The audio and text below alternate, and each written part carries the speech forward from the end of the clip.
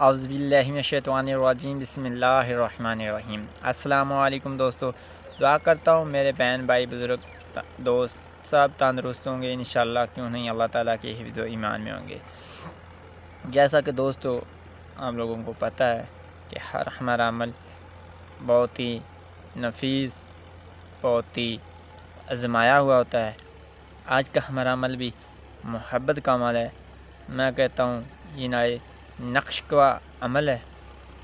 आप लोग जिस तरीके प्रॉपर से ये नक्श तैयार है, मैं आपको दिखाऊँगा स्क्रीन पर, उसी तरीके से आप अगर ये नक्श तैयार करके अपने महबूब को इसको सात रोज़ तक पानी में भिगो के रखना है।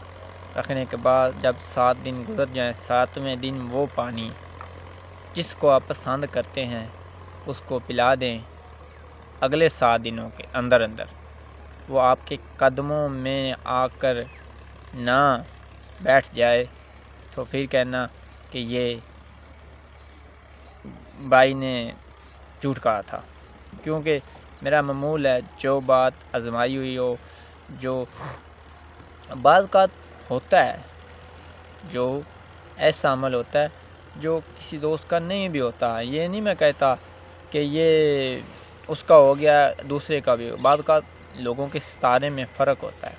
इसलिए मैंने कई अमल गुजारिश कर चुका हूँ, मेरे चैनल पे मौजूद हैं कि पहले किसी ने जानना हो कि अगला मेरे हक़ में बेहतर है, वो अमल करके अब नचोड़ भी काट सकते हैं कि वो मेरे हक़ में क्या बेहतर है या नहीं। ठीक है? हम अपनी चलते हैं। नक्श की तरफ़। मेरा ममूल है, मैं पहले बना के ले आता हूँ।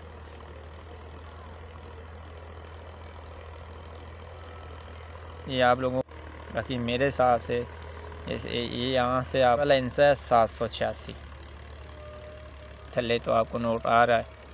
इसी तरीके से आपने नक्श तैयार करना है। और इसको सात रोज़ तक आपने पानी में भिगो के रखना है। रखने के बाद इसका पानी का इस्तेमाल करना।